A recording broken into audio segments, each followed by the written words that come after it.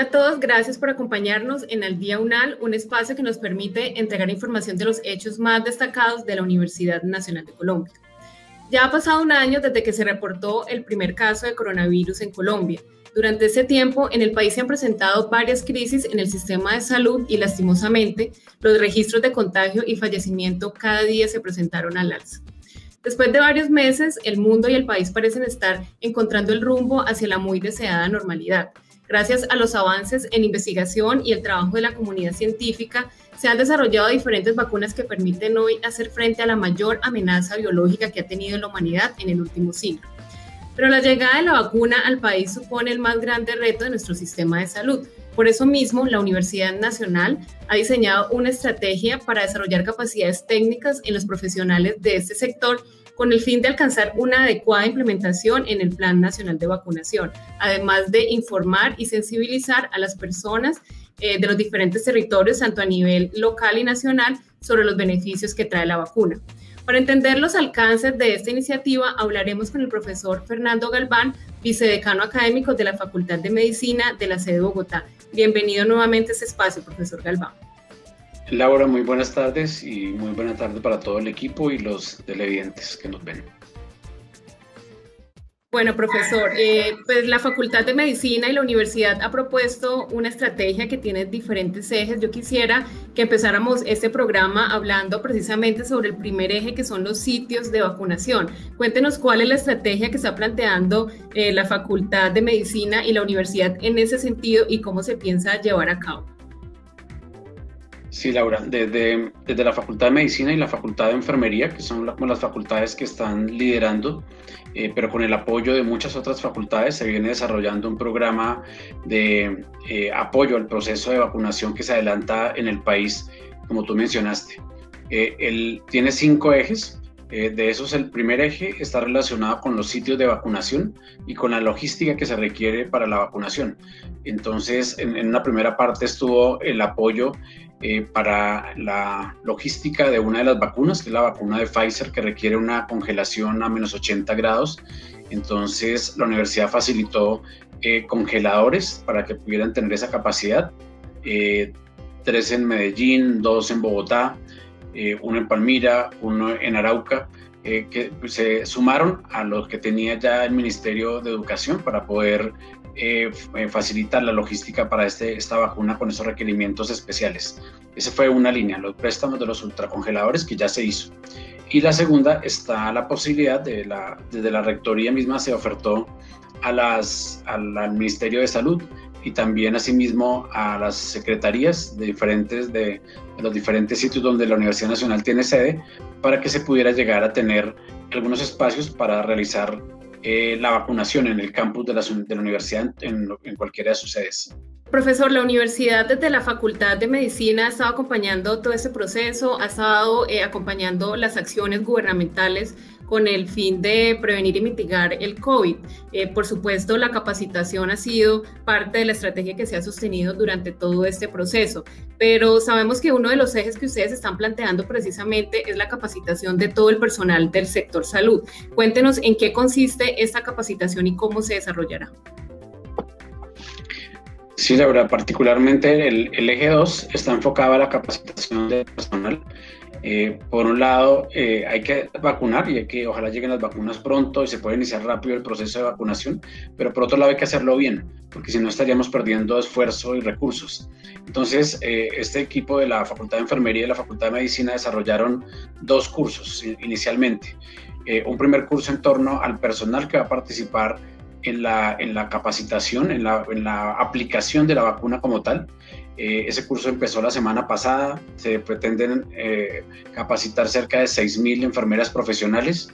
Ese es el, primer curso. Y hay un segundo curso que es el de, de, capacitación en la atención a los eventos adversos que eventualmente se puedan llegar a presentar, que va dirigido a médicos y enfermeras que laboren en los servicios de urgencias, que van a estar cercanos a los puestos de vacunación eh, para que estén capacitados en la atención adecuada de aquellos eventuales efectos que se, que se llegaran a presentar. Ese curso pretende capacitar cerca de 10.000 eh, profesionales de la salud. Ese es el segundo eje de trabajo.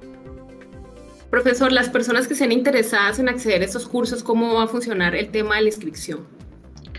En el, caso del primer curso de, de enfermería, eh, buena parte ya fue suministrada por el ministerio, porque en una convocatoria previa que el ministerio hizo, entonces ya están como preinscritos, y otros se estarán ofreciendo a los sitios donde la universidad tiene convenio o las nueve sedes. En el segundo curso, el, de eventos adversos, eh, ya se empezaron las inscripciones. La primera etapa, la primera cohorte de mil, eh, va a estar con los sitios donde la universidad tiene convenios, eh, también con las nueve sedes donde estamos distribuidos a lo largo y ancho del país. Y en las siguientes fases se generará un link para que las personas se puedan inscribir libremente pero digamos que en la primera fase hay algún control, ya en el segundo será más libre y el link ya lo daremos oportunamente a conocer. Profesor Galván, eh, pues parte principal del éxito del plan de vacunación en el país dependerá de la motivación que tenga la población para acceder al, precisamente a aplicarse la vacuna. Cuéntenos desde la Facultad de Medicina y desde la universidad cuáles son las estrategias que se están planteando, eh, por supuesto basadas en, en, me imagino, pues en toda una estrategia de información veraz, oportuna, con la credibilidad de la Universidad Nacional. Sí, digamos que una de las cosas que se tienen, eh, que se están viendo con el COVID y que se vio con el transcurso de la enfermedad era que la gente negaba la existencia de la enfermedad. Eh, la infodemia, o sea, la información falsa, la infoxicación son fenómenos que han golpeado bastante esta pandemia. Eh, al principio la gente estaba negando la enfermedad, pero ahora hay un porcentaje importante que no quiere vacunarse. si esto se llegara a dar, o sea, si hay un porcentaje grande de personas en el país que no se vacunen, pues el efecto de rebaño y el regreso a la normalidad se va a demorar aún más. Entonces es muy importante la adherencia a la vacunación. Y esa decisión de vacunarse o no vacunarse, la, apuesta desde la Universidad Nacional es que las personas, los colombianos, tomen la decisión, pero con información veraz.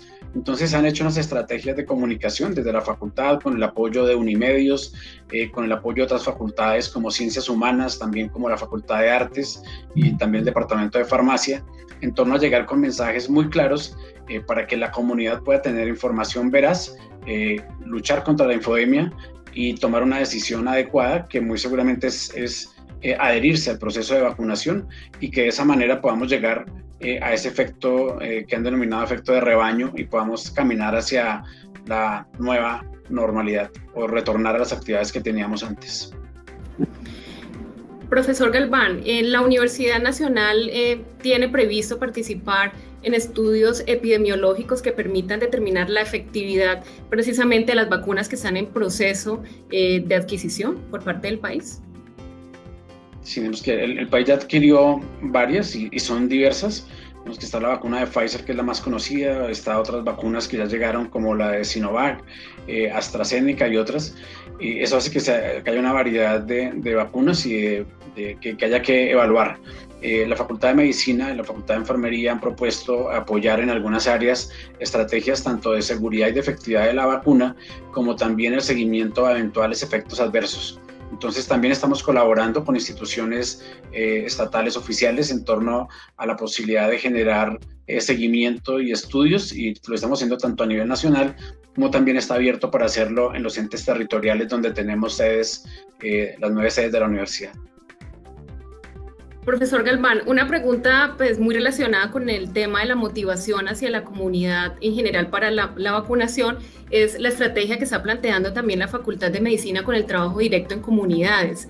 Cuéntenos en qué consiste esa estrategia que se está planteando y también cómo se piensa desarrollar. Sí, esa estrategia eh, inició a mediados del año pasado con los efectos de la vacuna, cuando veíamos que en algunas localidades de Bogotá, en especial la localidad de Teusaquillo, que es donde está ubicada el campus principal de la Universidad Nacional, eh, la gente empezó a no adherirse a lo que desde algunas fuentes oficiales se empezaba a enviar la información. Eh, entendimos que con un trabajo que se realizó con el doctorado de salud pública, que había que llegar y trabajar muy de la mano con las comunidades en los barrios o sea, con las juntas de acción comunal, con las organizaciones barriales, con los consejos de administración, y se creó una estrategia que se llamó la Alianza Comunitaria contra el COVID en Teusaquillo. Esa alianza la repetimos con otras localidades y también con algunos municipios de Cundinamarca, como Suezca, Huasca, Tocancipá y, otros. Empezamos a mirar la importancia de trabajar en los barrios. Entonces, esa estrategia de trabajar con los barrios eh, en torno a, la adherencia a, los elementos de protección, también la extrapolamos ahora al tema de la vacunación. y es combatir la misma estrategia número 3 de combatir la infodemia, pero a través del trabajo con las comunidades, o sea, a través de las juntas de acción comunal, de las asociaciones de, asociaciones de, juntas de acción comunal. Eh, hemos estado ya trabajando en cosas interesantes con algunos municipios, incluso del Pacífico, hay una estrategia conjunta con la Cruz Roja, y también estamos trabajando en un escenario con, con adultos mayores. Por ejemplo, esta semana estuvimos trabajando con el Consejo de Sabios, eh, también acá en Bogotá, eh, de adultos mayores, y creo que ha sido una estrategia muy bonita que nos va a permitir crear lazos no solo para eh, una adherencia al proceso de vacunación, que nos vaya mejor en la pandemia, sino seguramente a futuro poder trabajar contra otras enfermedades. Sí, profesor, seguramente una experiencia que se puede replicar en, en muchos de los municipios del país. Profesor, para finalizar, ¿qué mensaje le envía usted a la comunidad en general, la sociedad colombiana, que estamos en ese momento enfrentando este inicio de ese proceso de pandemia? En ocasiones vemos que la gente eh, de pronto se relaja un poco porque ya se piensa que llegó la vacuna. Entonces, ¿qué mensajes envía desde la Facultad de Medicina? Quisiera dejar dos mensajes para finalizar, Laura. Eh, uno en torno a que la gente tome las decisiones en torno a la vacunación de una manera informada eh, que ojalá tengamos un muy alto porcentaje de personas que se vacunen y que podamos llegar a ese deseado efecto de rebaño que nos permita llegar a una normalización y a una progresiva retorno a la normalidad. Eh, por otro lado está el llamado a toda la comunidad para que eh, si bien las vacunas llegaron la semana pasada, estamos en un proceso que va poco a poco aumentando en el número de vacunas y eso hace que de alguna manera la gente se empiece a relajar, que, recuerden que el COVID sigue circulando, el COVID de alguna manera los que se vacunan es la pequeña población que va quedando protegida, pero el resto no estamos o no están protegidos y de alguna manera eh, si, si nos relajamos vamos a tener problemas. Entonces el mensaje es que hasta que no haya el efecto de rebaño, que esté cerca del 70% de personas que tengan la cobertura entre haberse recuperado de la enfermedad más la población vacunada, debemos continuar con todas las medidas de bioseguridad con todas las medidas de protección, el distanciamiento físico, el evitar reuniones que sean innecesarias, el uso adecuado del cubrebocas tapando la boca y la nariz, el lavado de manos y todas esas condiciones que hemos venido trabajando durante estos últimos meses.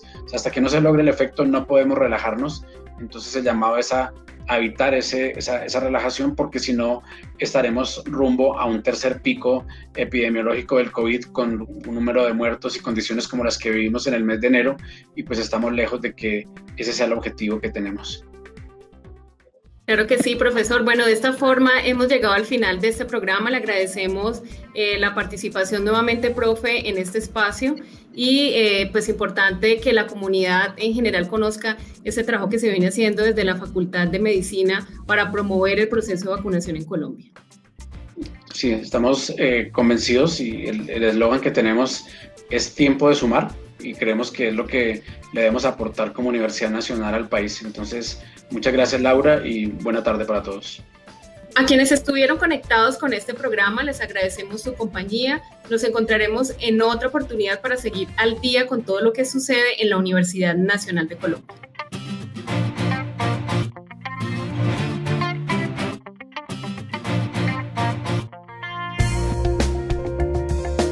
Universidad Nacional de Colombia proyecto cultural, científico y colectivo de nación.